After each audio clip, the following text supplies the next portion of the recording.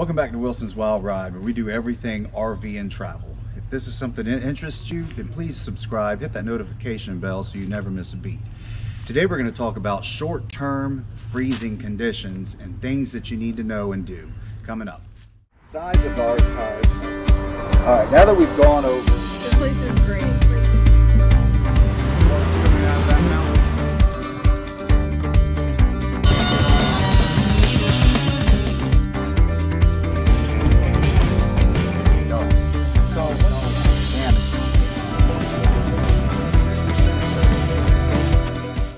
Guys, we're in Louisiana where it never freezes.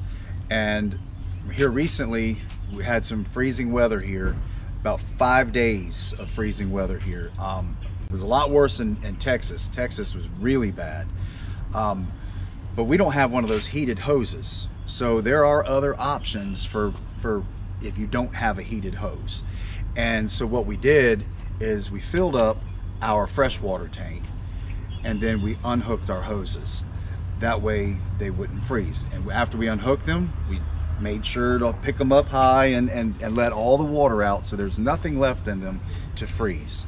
Okay. So these are our water connections. This is, we have this side hooked to our, um, this is our water going in. This is for the black tank.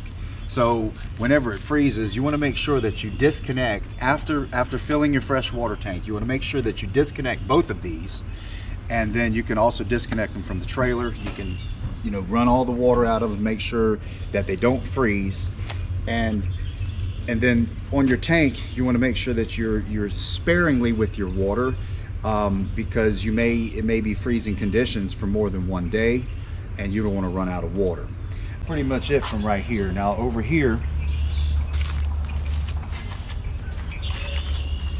as you can see, it's been raining and everything's still wet, but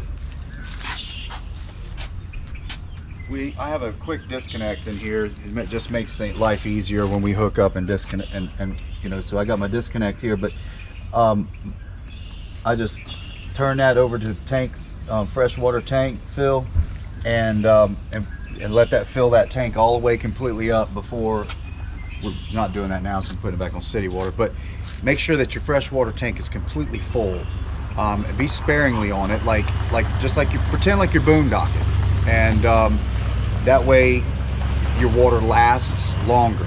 And and then during and keep an eye on it during the day. And when you see your levels start to drop and, and you know it is starting to drop keep an eye on the weather. And then what you can do is when it's not freezing as long as as long as the pedestal over there hasn't th that water hasn't frozen then you can take your hose back out hook back up just like this and then and refill during the heat of the day.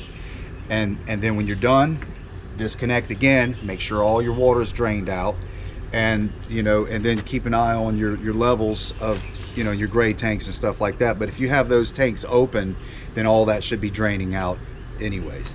So that's what we do as far as the water. Now um, if you can get a little ceramic heater inside these compartments a lot of them have electrical outlets. So if you put yourself a little ceramic heater in here and plug it in and shut this. That will keep this compartment area warm which is right next to your freshwater tank and and, you, and also your freshwater pump and all that stuff right there to keep everything nice and warm inside there. You're going to want to run your your your your your your furnace. you're going to want to run your furnace to keep everything underneath underneath the trailer warm. Um, it, it inside there you have ductwork that runs through there and, and feeds inside, and along that ductwork it has little little um, little spouts that, that go down on on different connections, water connections, and and on the inside and, and will help keep that warm. So you're gonna wanna make sure that you run your furnace when you get below, below freezing temperatures. Now when the freeze is over with, everything's back you, and the weather is looking better, then what you're gonna wanna do is make sure that your hoses are, are good to go and hook everything back up just like you had them to begin with.